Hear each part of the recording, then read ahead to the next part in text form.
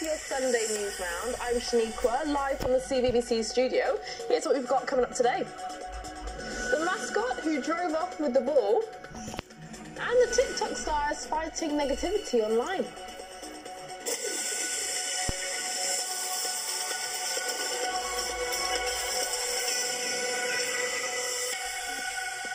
But first, let's start with some big news from the Winter Olympics because Team GB have won.